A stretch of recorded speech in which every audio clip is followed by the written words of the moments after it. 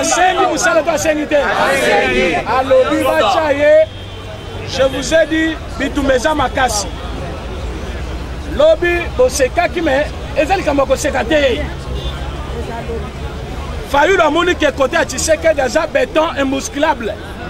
aponi na ye mobobe na ye olenka nkoi olenka nkoi alobi ose trompe cible sisekadi aza monene ngai mpe naza mo lokola ye atingami na pouvoir mpo baponaki ye ngai mpe natingami na sensa parceke batiaki ngai okolongola motu te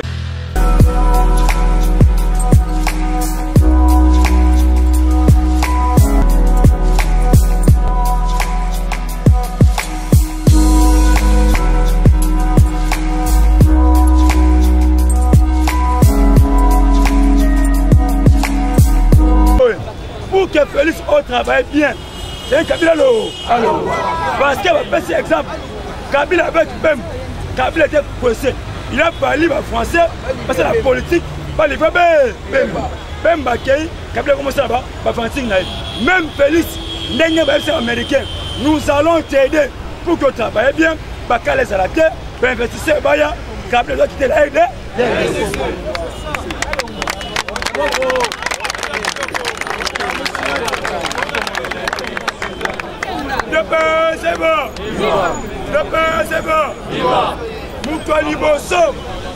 moto ya liboso oyo tokokanga na mboka oyo c'est shadar deuxième personne martin paul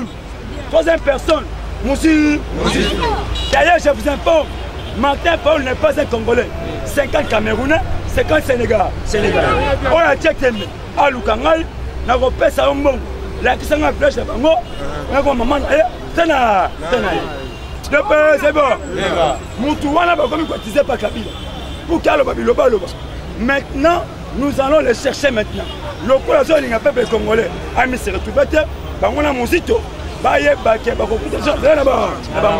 mpo na chite dps eba lobi to na marche tosenika to ya enseignement mpo ebele totambola na marche wana mais attention le 12 dps eba le 12 les 12 heures bato batini basake président félix aretire signature ya baparlementaire de oyo oh, botelemi awa oh. eza bino président asali yango soki jour moko bosacre le président a contribué pour ça le partout on a contribué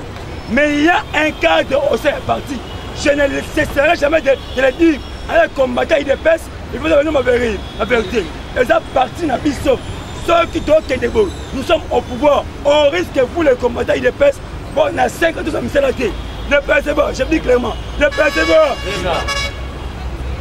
eza na eloko ebetami le 12 oyo ezali manif na biso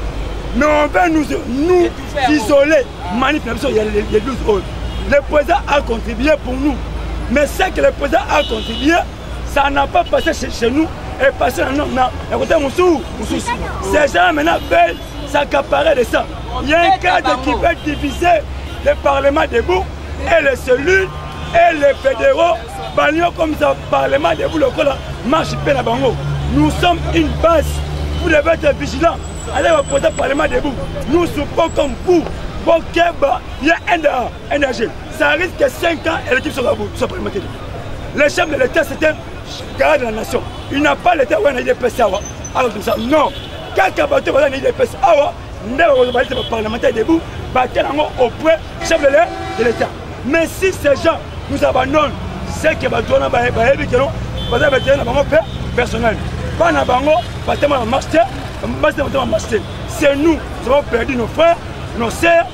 Aujourd'hui, nous sommes au pouvoir. Nous devons nous en bénéficier. Avec ce merci beaucoup. Viva! toyokana boye nde boke marche boye boke marche kaka boye akolemba boye marche eza lobi tokende kaka boye esa boye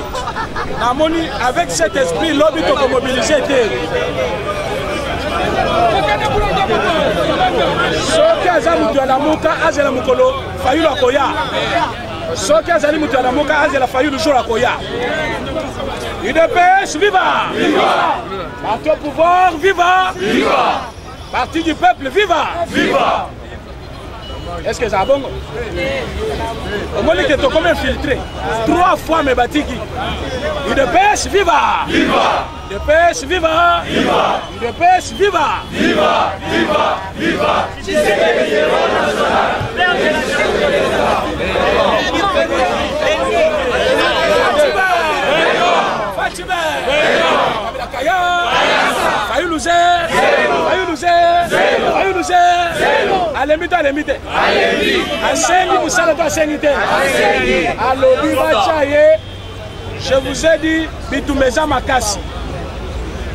lobi bosekaki me eza likambo ya koseka te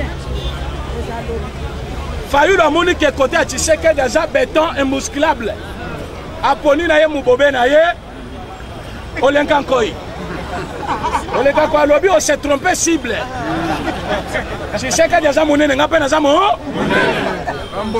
lokola ya tingami na pouvoir mpo baponaki ye ngai mpe natingami na sensa parceke batiaki ngai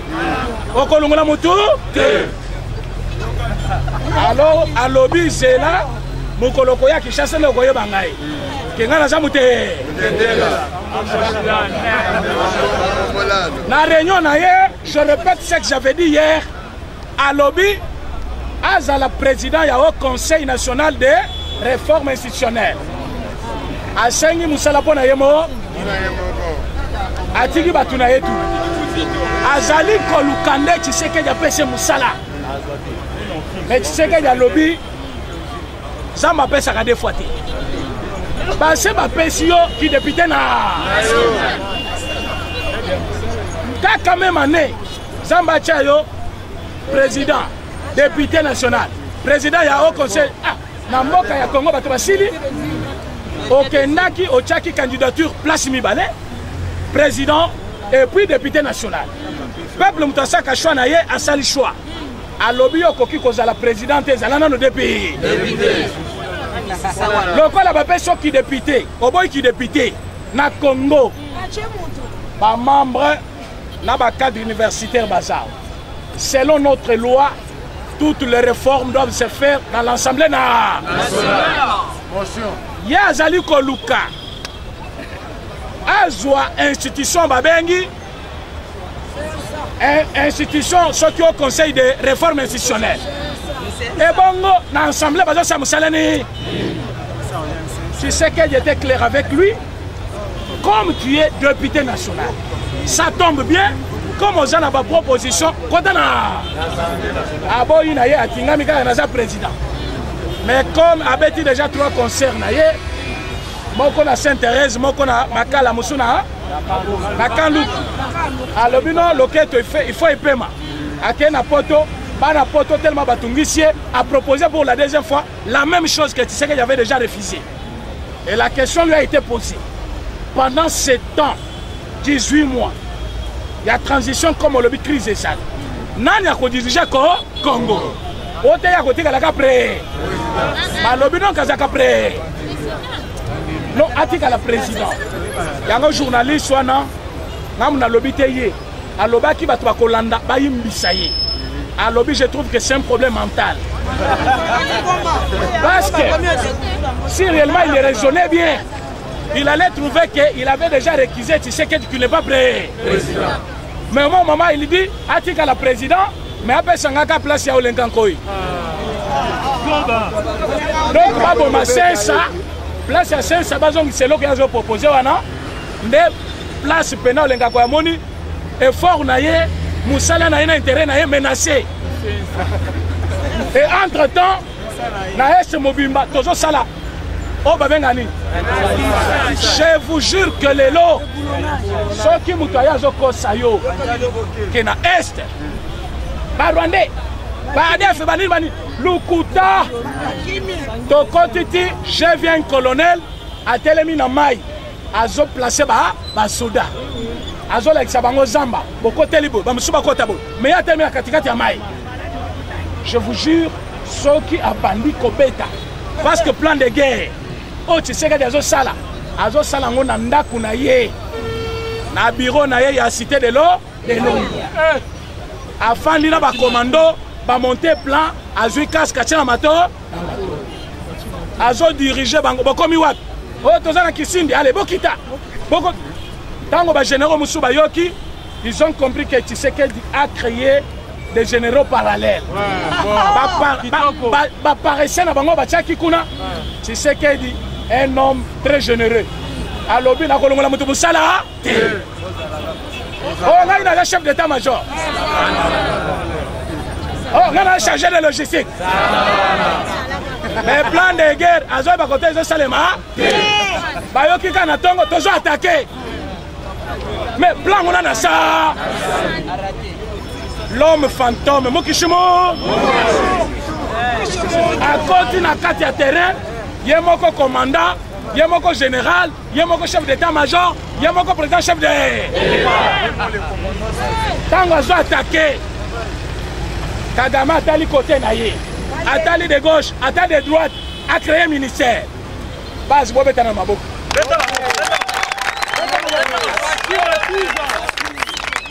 naloba abimisa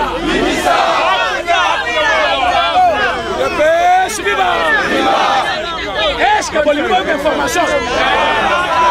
pesanga matoi pesanga matoi tshisekedi aza makasi je vous dis meme beton topesa ye namoni ekoki te ilfo toluka nkombo mosusu parce que beton namoni beton ekoki te tshisekedi aza makasi moko je vous dis paul kagame akoti na chambre abimi libanda atoki mwasi na atuni ye qu'est-ce qui ne va pas alobi je vais remanier na kochanger baministre batuni ye pour quel intérêt alobi je suis menacé menacé par qui et pourquoi au moment où je vous parle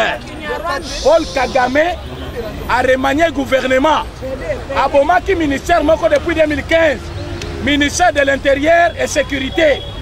Ministère wana lelo azongisi mutu nani azongisi azwi chef d'état major na ye atie ministre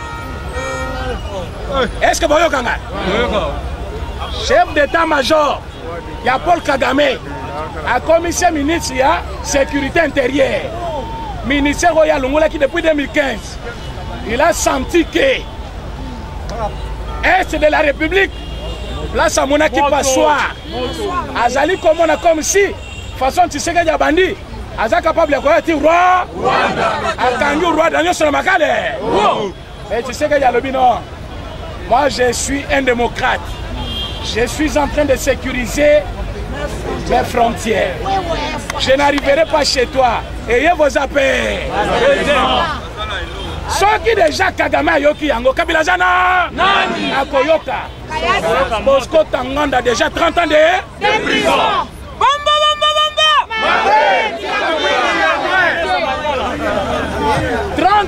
de prison aza na age ni nini akomema na age ni nini ezali déjà condamné à mort ah et lelo bosco tanganda akendaki pamba te atangaki no alobaki mwa olingi komata eh, nani wana bazi tombo naloba baza omoni bakomaka boye so bamoni na mati verité elingi ebima me nanga koyebisa bino boye Tu boye qu'elle avait dit une fois président je vais créer la paix au congo et en afrique centrale mobile Et bandi déjà il faut tous les frontières et républiques et comment sécuriser nous nous avons attaqué et changé makanisa paul kagame remanié le gouvernement, a créé un ministère à Kala. Ce qui veut dire il se sent déjà léger et menacé parce que ntango tokoyeba ke barebele ebele baza na zamba celui qui finance toza capable ya koatake or tshisekedi avait dit si tu veux le pont okotya bapont so olingi mire tokotya mire me nga mwa na préféré otya pont parce que so oluki mire okoka te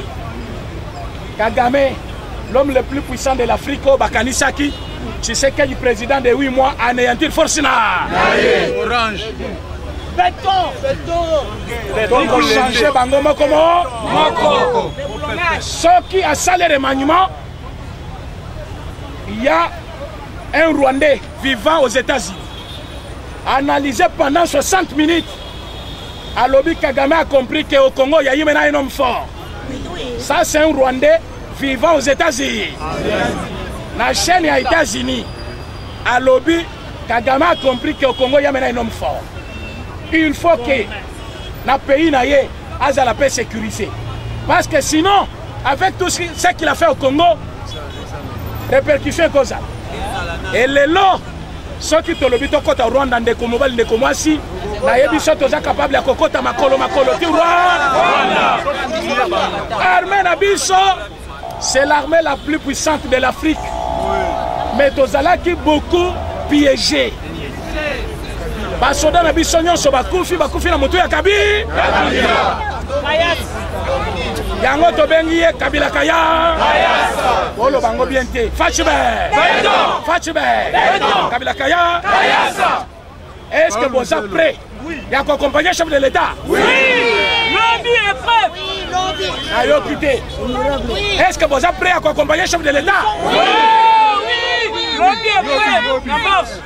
lobi mokolo ya le 9 opesi mbwa mwasa nini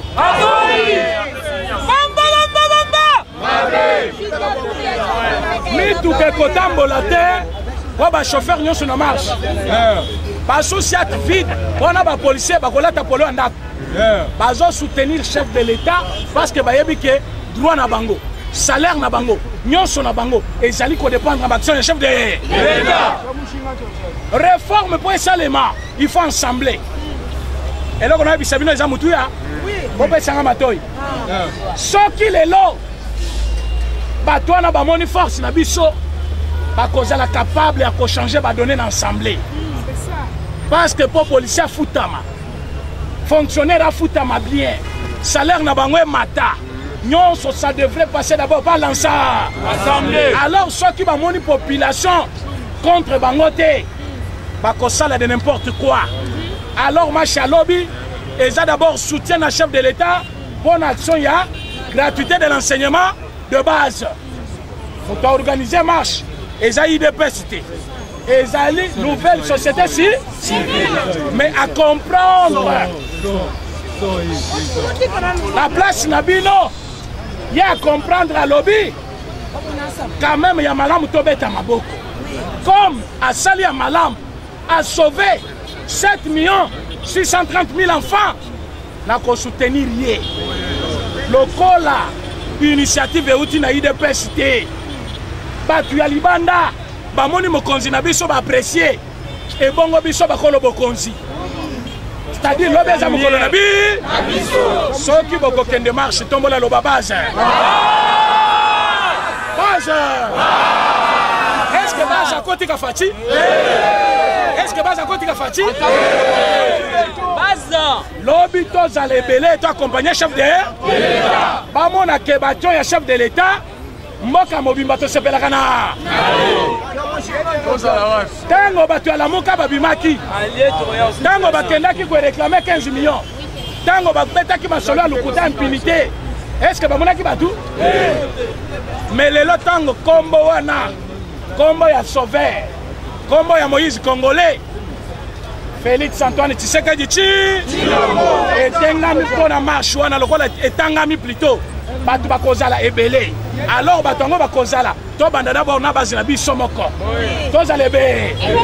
yango nasengi bino boye lobi eza mokolo ya discipline ebele bakoluka par tous les moyens mpo tosala dérapage kotumbola motu te kobeta eloko motu te kopasula motuka te kopanza vitre moko te kende kaka abonnement zalaka na papier na yo na triko na yo ya pembe na nzela kaka etiene akenda ye atikela biso accord félix nde mokonzi sembo wana elonga na monoko na bino ntango tokomi kuna wili bakonga enseignement ezali prerogative na yo tolobi na yo kobanda lelo classe eza ofele ekole tokoyoka ke bazofutisa moto ya liboso tokobeta fimbu yo komisa so omoni ke okoki te kobanda lelo démission chef de l'état appliqué disposition ya constitution yo nde mokambi ya systeme wana yo koba mela koyebisa baekole bafutisa bana te babengana bana soki boza pre tombola loba baze